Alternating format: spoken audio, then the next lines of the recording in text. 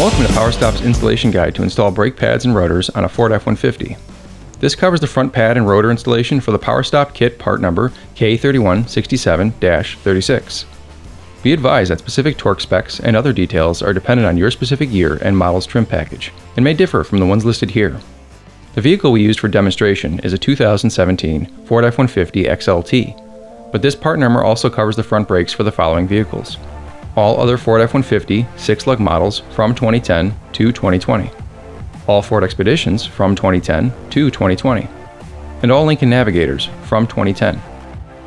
This kit is a fantastic application for most F-150 drivers. It is made for towing and carrying heavy loads in a larger vehicle. All of the parts are an exact OE fit and a bolt-on upgrade with no modifications to your vehicle. In addition to the pads and rotors, a Z23, Z26, or Z36 kit ordered from PowerStop is guaranteed to contain all new hardware and brake lube to ensure you have everything you need for a brake upgrade made easy. Your old pads may look slightly different than your new ones. Ford has updated the pad design for this application, and PowerStop has complied with the update to maintain the OEM fitment. For your install, we'll go over getting started and what equipment you'll need. Some safety pointers and safety equipment, prepping your F-150 for the install, the installation procedure of removing and installing your new brake pads and rotors, finalizing everything before lowering the vehicle, performing the break-in procedure to ensure optimal performance. Have the following parts and specialty tools available before you start pad and rotor installation. You'll need PowerStop brake pads, PowerStop rotors, a bottle of brake fluid as specified in the owner's manual, brake component lube, a caliper piston clamp or a C-clamp, a jack and jack stands rated for the weight of the vehicle, safety gloves and glasses, brake parts cleaner, a foot-pound torque wrench, a bottle of anti-seize, a wire brush, ratchet and sockets sizes 13 and 21 millimeters, a breaker bar or pipe to extend your ratchet, and finally you may need a pry bar or a rubber mallet to remove rusted on parts. There are some general safety guidelines if you are planning on using a jack and jack stands for any vehicle.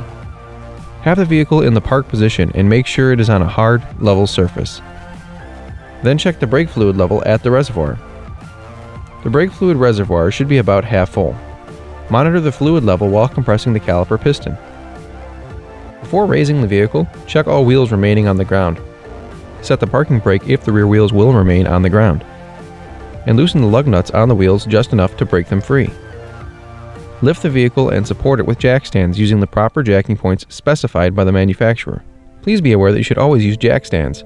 Never attempt to work on an elevated vehicle held in place only by hydraulic jack. Using a 21mm socket, remove the lug nuts and the wheel. It is best to work on one wheel at a time, leaving the other side intact as a point of reference.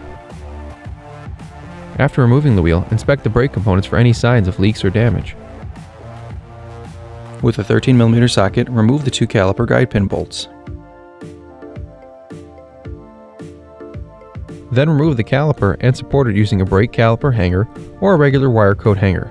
Please be aware that you should always support the caliper. Never allow the caliper to hang from the brake hose. Remove the pads. Then, with a 21mm socket, remove the two caliper mount bolts. The rotor can now be removed. Sometimes rust will make the rotor bind to the hub, and a mallet will be needed to loosen it. Tap both the front and back side alternating left and right, top and bottom of the rotor. Before the next step, compressing back in your caliper piston. Make certain the brake fluid is about half full. Monitor the fluid level while compressing your piston, as it may overflow. The piston has extended as the pad material wears. With new, thicker pads, you must return the piston back inside the caliper body to give the thicker pads room for installation. Using a piston compressor or a large C-clamp, place a used brake pad over the face of the piston to protect the surface from marring, and begin compressing the piston. As you turn the handle on the clamp, it will increase pressure on the piston until it becomes flush with the surrounding metal.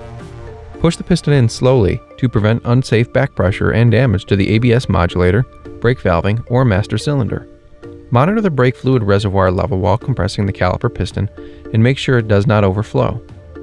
Then, loosen and remove the piston compressor or C-clamp used. It may be necessary to drain some fluid from the master cylinder reservoir. Clean any rust off the face of the hub mating surface with a wire brush and a hub cleaning kit. Rust or debris on the hub can cause rotor runout and lead to wheel vibration. Apply a thin film of anti-seize to the face of the hub, This will make it easier to remove the rotor next time. Before installing the rotor, clean it with mild soap and water. Then wipe it clean with a lint-free cloth. Now the new rotor can be installed. Please be aware when installing rotors we recommend checking the lateral runout. This will tell you if any variation exists between the rotor and the hub to which it is mounted. Depending on the application, the maximum acceptable lateral runout can range from 3 to 5 thousandth of an inch. Click the link to find out more about lateral runout and how to properly test if your new rotors are within OEM specification. Remove the old hardware from the caliper bracket and use a wire brush to clean rust from areas where the pads or hardware contact the bracket. This helps ensure that the new hardware will sit correctly on the bracket.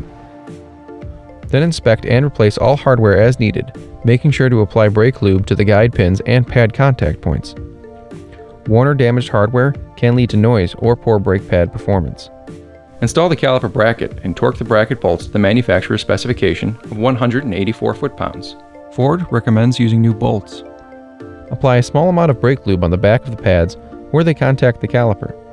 Please be careful to not get any brake lube on the friction side of the pads. Then install the new pads. Install the caliper, making sure not to twist the brake hose and torque the caliper bolts to the manufacturer's specification of 27 foot-pounds. Bleed the brakes to remove any air from the brake system. We recommend bleeding the brakes every time you replace the pads and rotors. Not all vehicles have the same bleeding procedure. You should always refer to the factory service manual for the proper procedure. Please take note that after bleeding the brakes, make sure the brake fluid reservoir is filled to the max line. Do not overfill the reservoir. Install the wheel and lug nuts, then lower the vehicle back onto the ground to finish tightening the lug nuts to the manufacturer's specified torque. Follow the proper tightening sequence based on the number of lug nuts used. For most, the sequence will be done in a star pattern to ensure the hub mounts to the wheel optimally. It's most important that following the installation, you perform the break-in procedure for your new pads and rotors.